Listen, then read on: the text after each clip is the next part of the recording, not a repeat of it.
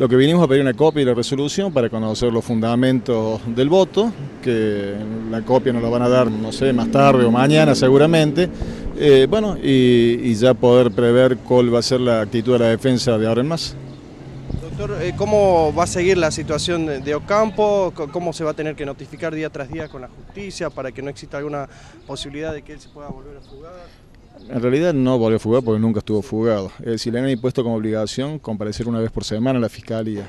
El expediente bajará a la Fiscalía y se continuará la investigación a fin de que el fiscal, porque en realidad estamos desde el punto de vista procesal en una etapa inicial, eh, tendrá que completarse la investigación y el fiscal tendrá que concluir si dispone o bien la elevación de la causa a juicio o bien, como eventualmente pedirá la defensa, el sobreseguimiento porque entendemos que no hay, no hay mérito, no hay prueba para continuar con este proceso.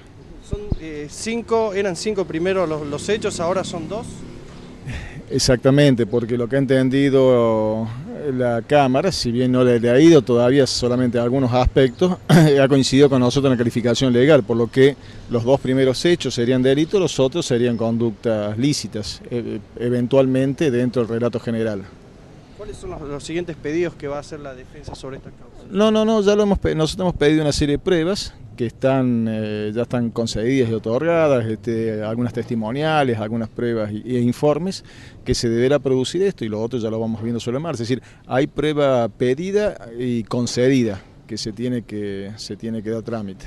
Doctor, hay otro también denuncia contra Ricardo Javier Ocampo. Eh, ¿Cómo se está manejando esta? Porque todavía no, no, no ha sido imputado por, esta denuncia que, le ha realizado otro joven. Efectivamente, hay otra denuncia, pero no hay imputación, es decir, que nosotros de eso no nos tenemos que defender. Es decir, este, sin perjuicio de esto, nosotros hemos observado y, nos, parece que este, no hay ningún elemento en relación a eso. Es una denuncia con datos muy objetivos y muy contradictorios para sostenerla, pero bueno, esto es una facultad del fiscal, tendrá que valorarlo, a ver qué va a hacer con esa denuncia.